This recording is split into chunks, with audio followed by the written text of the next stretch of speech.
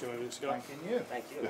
We're gonna see like a clear step-by-step progress to be better and better as a team. And the future, we don't know about that, but we can promise hard work. I, I always believe in strong team spirit. Um, that no one is bigger than the club. We are here for one reason to work hard for Aberdeen FC. For me, it's like quite straightforward, uh, strong attacking, uh, try to creating as many scoring chances as possible, and also be like giving for me, it's like you have to see that the defense is there, how they fight to defend the goal, how they fight to have a clean sheet.